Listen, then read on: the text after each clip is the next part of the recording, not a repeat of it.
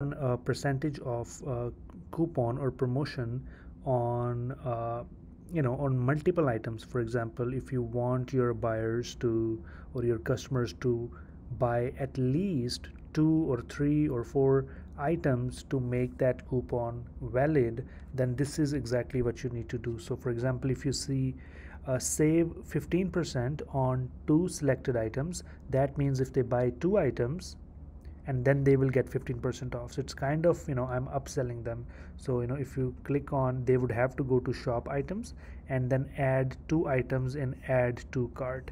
So uh, and then when they're done shopping you know this offer will automatically be applied. And how do you do that? This is exactly the same way uh, that you would do like go to advertising then promotions and then uh, you would uh, click on the percentage off and then change it to 2 and then you know add the 15% and then uh, set your budget okay?